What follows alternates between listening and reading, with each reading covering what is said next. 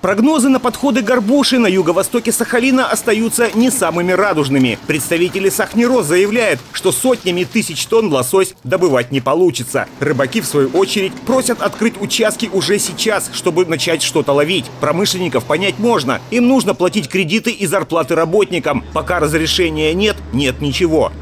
Что делать с людьми, которые сегодня месяц осталось им до зарплаты, чтобы отправить детей, чтобы к своей... А что руководителю весаться приходится?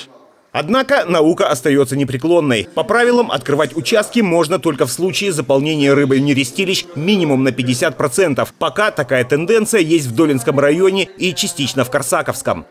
То количество, которое подойдет, э, ну, если будет избыток его на нерестилищах, ну, естественно, будет промысел. Тут очень просто. Есть рыба, есть рыбалка. Нет рыбы, нет рыбалки. Есть комиссия, я думаю, что все заинтересованы, чтобы наиболее эффективно обловить ту горбушу, которая подойдет. Что касается Министерства по рыболовству Сахалинской области, то его руководство полностью солидарно с учеными. Большой вылов – дело хорошее и в первую очередь для бюджета региона. Но в таком случае есть риск в будущем остаться без рыбы совсем.